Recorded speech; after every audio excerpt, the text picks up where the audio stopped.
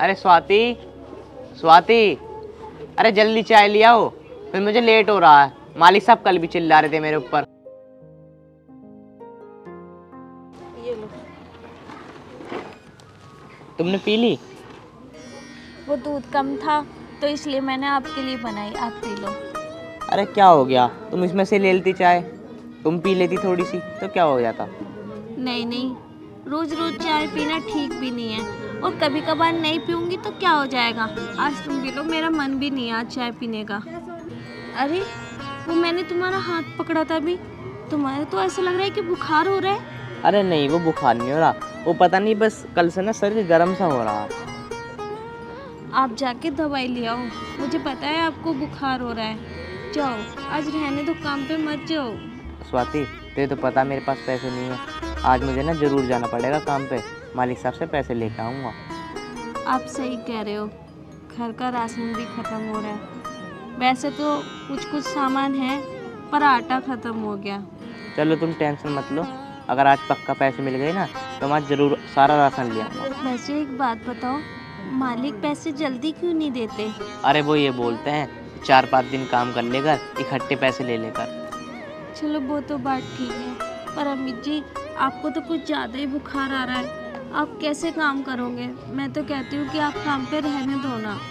अरे नहीं मैं कर लूँगा तुम मेरी बिल्कुल भी चिंता मत करो। मेरे ज़्यादा तेज थोड़ी बुखार हो रहा है थोड़ा सा ही बुखार हो रहा होगा सही हो जाएगा। अरे तुम रुको वो बुखार की गोली रखी है ना जो तुम मेरे लिए लेके आए थे वो तुम्हें दे देती हूँ चाय के साथ खा लेना।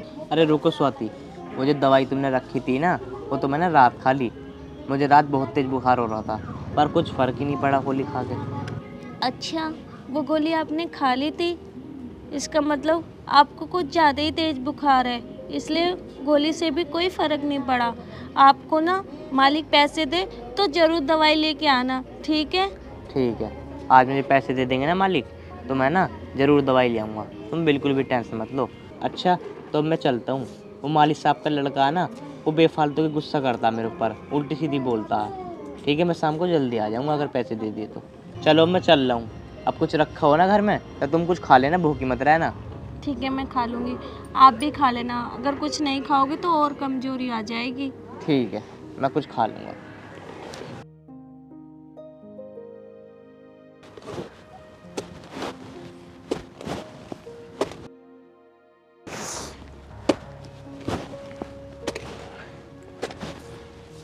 और भाई चवन्नी क्या चल रहा है?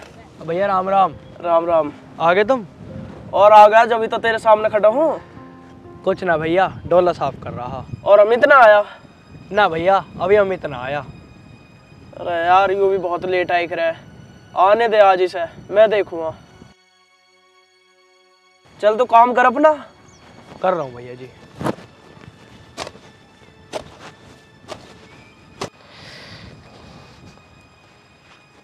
ओहो ऐसा लगता है? आज मालिक का लड़का आया है। मालिक साहब नहीं आया आज। चलो कोई बात नहीं चलता हूँ लेट हो गया।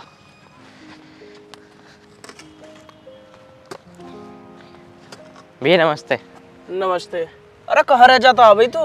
अरे वो मालिक साहब वो घर में कुछ काम था इसलिए लेट हो गया। अरे तो भैया जल्दी आ जाए कर। यहाँ और भी तो काम है। चलो मैं कल से जल्दी आ जाया करूँगा। चल ठीक है अब तू अपना काम कर ले। ठीक। और हाँ कल से जल्दी आई हो ठीक है जी। चलो ठीक है अब तुम अपना काम कर लो मैं आगे और लेबरों को देखे हूँ ठीक है? ठीक है जी। चवन्नी तो ऐसा कर तो दूसरे वाले फावले से काम कर ले मैं ऐसे कर लेता हूँ। चलो ठीक है भैया कर लो।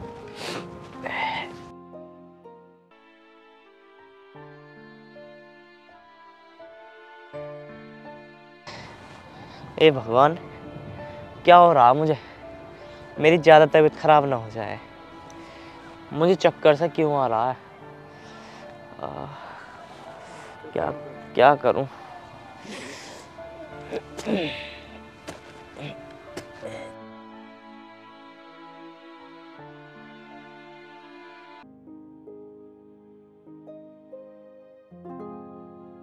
अरे यार चवन्नी। हाँ मित भाई। यार मेरे तो ऐसा लग रहा है मेरी तबीयत ख़राब सी लगे चक्कर सा आ रहा है। यार मैं थोड़ी देर आराम कर लूँ थोड़ा सा काम कर ले तो। कोई बात ना भाई तुम बैठ जाओ मैं कर लूँगा। ठीक है भाई।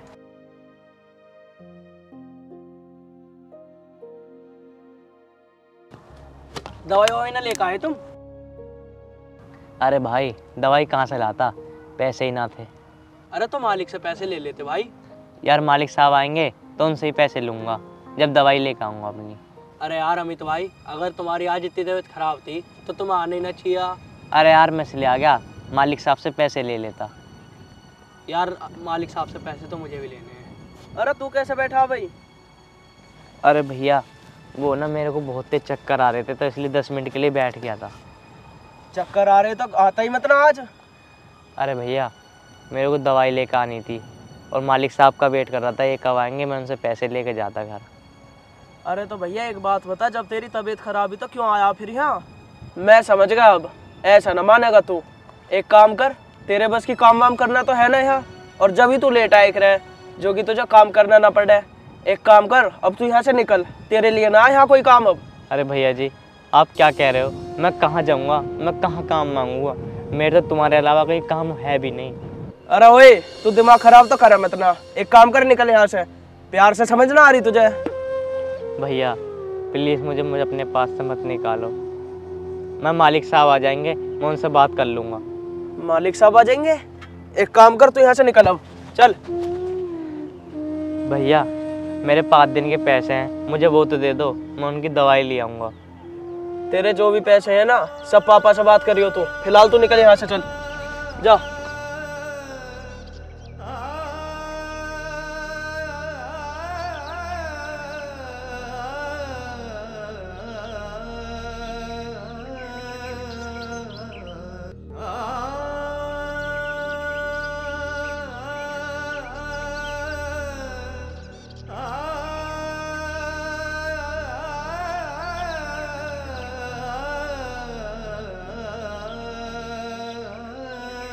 मुझे पता है ये बहुत हरामी है।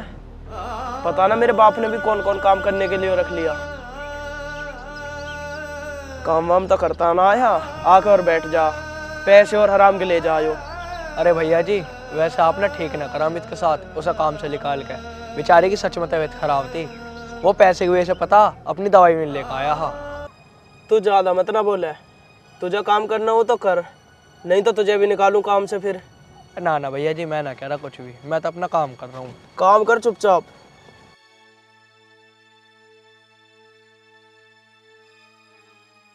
और आज ये पूरा साफ़ मिलना चाहिए मुझे? ठीक है भैया जी।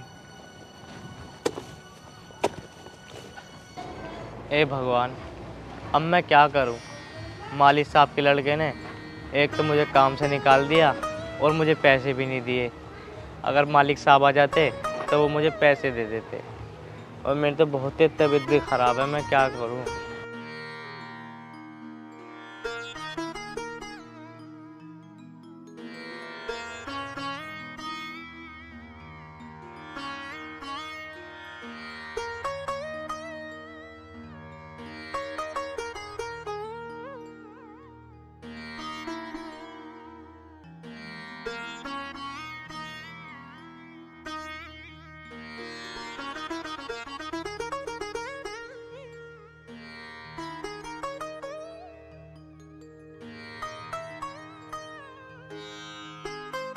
क्या हुआ?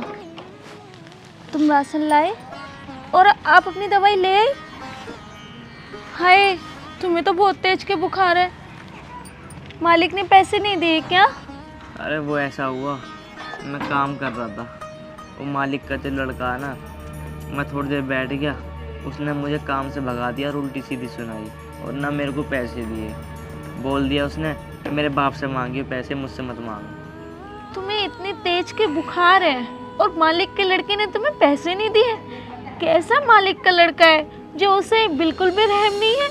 मालिक के लड़के के पापा कहाँ थे? अरे वो आए नहीं थे। उसने कह दी नहीं मेरा बाप आए पैसे मेरे बाप से ले लियो। खास मालिक होते तो वो ज़रूर पैसे दे देते। पता नहीं उनका बेटा इतना बहरम क्यों है जो उसे किसी की परेशानियाँ नहीं दिखाई दी। बल्कि यहाँ तक का तुम्हारी तबीयत भी उसे दिखाई नहीं दी। अरे तू टेंशन मत ले मैं ठीक हो जाऊँगा अपने आप। भगवान सब ठीक करे ऐसे कैसे ठीक हो जाएगी तबीयत आपकी? मुझे नहीं लगता आपकी तबीयत इतनी जल्दी ठीक हो जाएगी। आप आराम करो मैं जाती हूँ। मालिक के लड़के से ही आज बात करती हूँ। वो ऐसे कैसे नहीं देगा पैसे? नहीं स्वाति तुम मत जाना वहाँ पे। वो मालिक का जो लड़का ना बहुत बदतमीज है। तुम्हारे साथ बदतमीजी कर दी तो मेरा और दिमाग ख़राब हो जाएगा। मैं एक काम करूँगा मैं कल जाऊँगा। कल मालिक साहब आ जाएँगे तो मैं उनसे पैसे ले आऊँगा। अब ऐसे क्यों बोल रहे हो? आपको पता है ना आपकी तबीयत कितनी ज़्यादा ख़राब हो रही है और मैं तो अभी जाऊँगी। आपको अच्छे से पता है आपके सिवा मेरा कोई नहीं है। अगर आपको कुछ हो जाएगा तो मेरा क्या होगा? मैं तो अभी जाऊँगी उसके पास अभी लेके आऊँगी उससे। मैं तुझसे मना कर रहा हूँ ना स्वाति। तू नहीं जाएगी तो नहीं जाएगी। आप चुप हो जाओ। और आप कुछ भी मत बोलो। आप चुपचाप यहीं आराम करो। मैं अभी आती हूँ। वो वहीं खेलेगा ना खेत पे ही? हाँ मिलेगा तो वहीं पे वो। मैं जाती हूँ। आप आराम करो। स्वाति मत जाना। ए भगवान इसे मालिक का लौंडा कुछ कह ना दे। मैं तो बहुत तबीयत खराब हो। रही थोड़ी देर आराम कर लेता हूँ।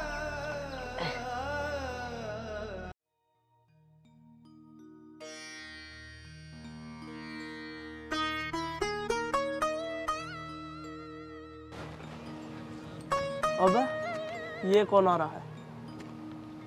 ये लेडीज़ कौन है? आप सोमिंदर जी के बेटे हो क्या? हाँ। तू कौन है? मैं कौन हूँ? मैं अमित की बीबी हूँ। आप ही ने उनको काम से निकाला? हाँ मैंने निकाला काम पे से। पर क्यों? एक बात बता वो यहाँ आके खाली बैठ जा। काम वाम कुछ करता ना। पैसों की ओर कहता रहे। और आज तो ये और कह रहा मेरी तबीयत खराब है। उनकी सच में तबीयत खराब है।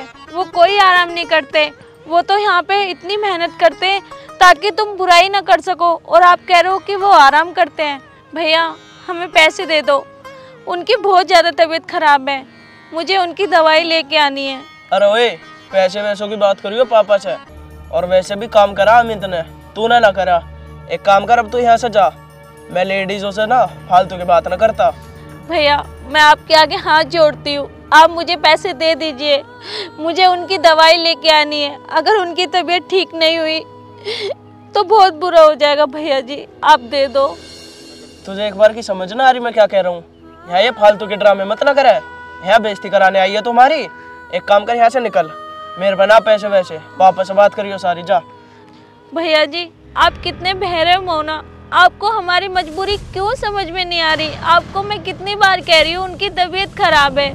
आप मुझे ज़्यादा नहीं तो कुछ पैसे दे दो, जिससे उनकी दवाई ले आऊँ। अरे ओए, तुझे समझ ना आ रही? मैं इतनी देर से क्या कह रहा हूँ? एक काम कर, निकल यहाँ से। चल। आगे यहाँ दिमाग खराब करने।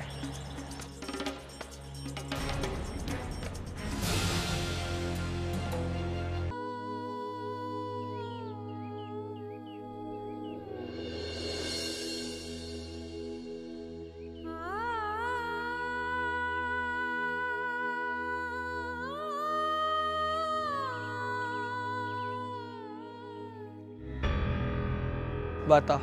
मालिक का लौंडा कितना बदतमीज है। अमित की वाइफ के साथ भी बदतमीजी कर रहा है। इसके समझ में ना आ रही? इसे मालिक ही बताएँगे किसी दिन जिस दिन देख लेंगे इसे।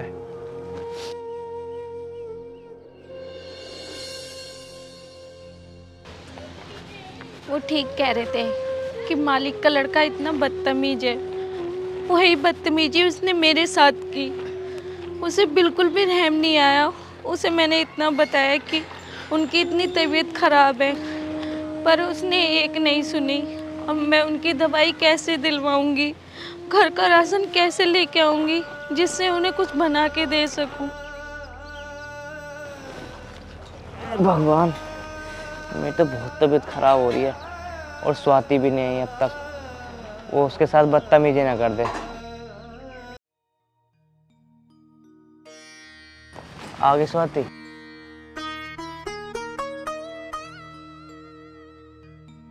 क्या हुआ?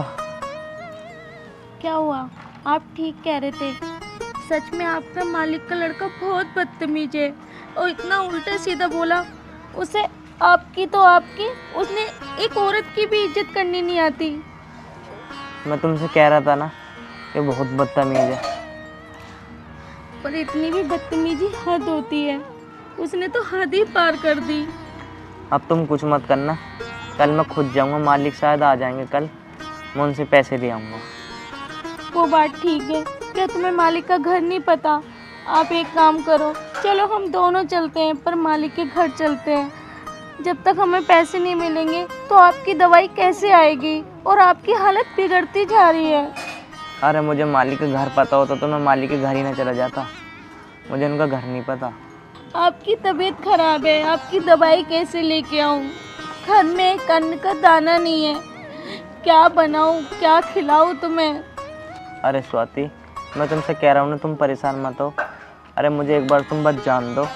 शायद मालिक साहब कल मिल जाएँगे ना तो मैं उनसे पैसे ले आऊँगा। फिर तुम घर का सारा राशन लिया ना और मैं अपनी दवाई भी ले आऊँगा। तुम बिल्कुल भी परेशान मत हो भगवान सब ठीक करेगा। आप ठीक कह रहे हो। चलो मैं घर में देखती हूँ। कुछ पड़ा हो तो थोड़ा आपके लिए बना देती हूँ। ठीक। आप लेट जाओ।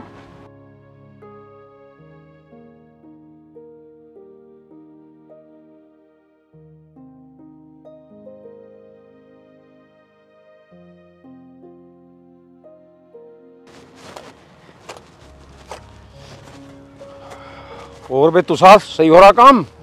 अरे भाजी नमस्ते। नमस्ते नमस्ते। आज अमित ना आया? बाबूजी क्या नाम है अमित भैया को तो? वो भैया ने भगा दिया निशांत भैया ने। क्यों? अरे बाबूजी उसकी तबीयत बहुत ख़राब थी। वो बेचारा बैठ गया था तो निशांत भैया ने उसे भगा दिया।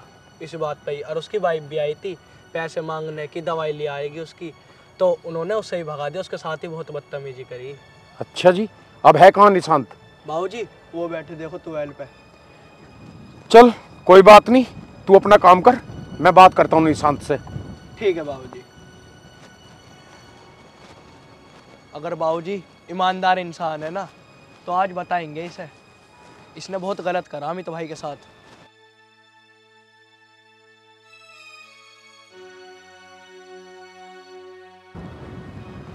लगता पिताजी आ गए, और यहीं को आ रहा है मेरे पास कोई।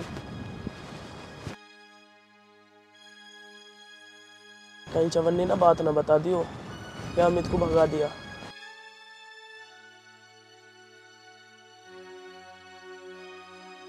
निशांत ये मैं क्या सुन रहा हूँ? अमित के साथ तैने बदतमीजी करी और उसकी घरवाले के साथ भी बदतमीजी करी? पापा जी मैंने अमित के साथ कोई बदतमीजी ना करी। एक बात बताऊँ वो यहाँ काम करने आ रहा है या ठाली बैठने आ रहा? और आज सुबह लेट भी आया है और बहुत देर से बैठा भी आ मैंने उसे घर भेज दिया तो मैंने कौन सी गलती कर दी? अरे नालायक वो बैठ गया तो क्या होगा? उसकी तबीयत खराब थी है? उसकी बहू के साथ भी बदतमीजी करी तन्ने अरे पापा जी बहू के साथ मैंने कोई बदतमीजी ना करी। यहाँ आई पैसे मांगने काय बात के पैसे दे देता हूँ उसे आराम के? काम तो उसने कुछ कराना है। अरे उसकी कोई बहुत बड़ी मजबूरी होगी जब वो पैसे मांगने आई थी। ऐसे नहीं आता कोई। अमित इतना बढ़िया लड़का है हम जानते हैं ना उसे। हो सकता है वो उसकी दवाई के लिए पैसे मांगने आई हो। हैं? और तुमने उसके साथ इतनी बड़ी बदतमीजी करी। अब आ मेरे साथ चल। अरे पापा जी उसकी कहीं तबीयत खराब ना है। वो तो नाटक कर रहा है। ताकि उसे काम करना ना पड़े। अरे हराम खोर नाटक वो नहीं कर रहा। नाटक अब तू कर रहा है। चल चल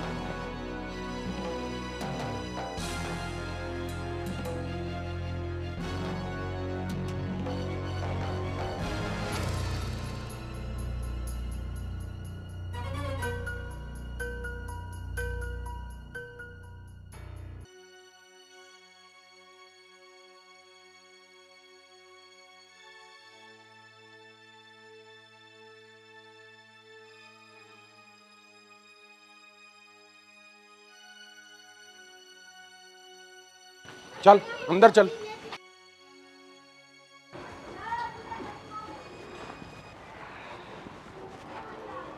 अमित बेटा। अरे मालिक साहब आप? कैसी तबीयत है अब तेरी नमस्ते मालिक साहब। नमस्ते। आओ बैठो मालिक साहब। बैठे बैठे। मुझसे कोई गलती तो नहीं होगी अरे बेटा गलती तेरे से नहीं हुई। गलती तो नालायक से हुई है। देख कितनी तबीयत खराब है इसकी हैं? और तूने इसे वहाँ से भगा दिया और इसकी वाइफ को भी। अरे नालायक कुछ शर्म कर। गरीबों पे इस तरह से अत्याचार करेगा तो साले कहीं भी जगह नहीं मिलेगी तुझे। अरे पापा जी मैंने बताया तो था तुम्हें। चुप! क्या कहा बताई तेने मुझे? अरे नालायक अगर ये दस मिनट बैठ ही गया तो क्या जुर्म कर दिया इसने? इसकी कितनी तबीयत खराब थी और तूने इसे भगा दिया? इसकी जेब में पैसे तक नहीं थे। कमाल कर दिया तन्ने। अरे ये तो सोच लेता इसकी जेब में पैसे हैं नहीं है। हैं? चार पाँच दिन हो गए इसे काम करते हुए मैंने इसे पैसे तक नहीं दिए तूने ऐसी भगा दिया बस। अरे वो तो शुक्र है मुझे चवन्नी ने बता दिया वरना मैं इसका हाल पूछने नहीं आता। अब एक काम कर माफ़ी मांग इससे। अरे पापा जी अब मैं एक मजदूर से माफ़ी मांगूँगा। मजदूर बता रहा है? अरे पता है कितना अच्छा लड़का है कितने दिन से हमारे पास काम कर रहा है। और अब भी ये कह रहा है एक मजदूर से माफ़ी मांगूँगा।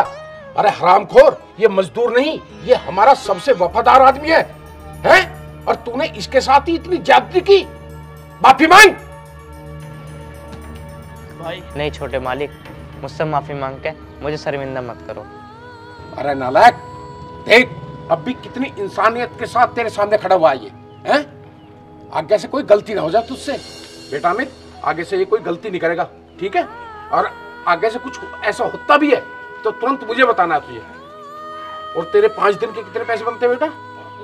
पाँच हज़ार रुपये बनते हैं मालिक साहब अच्छा ये ले।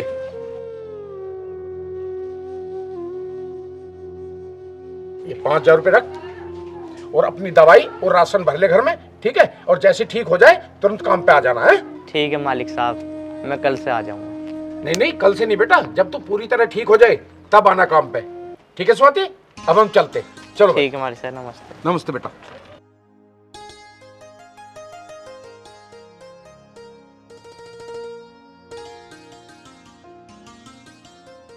लो स्वाति।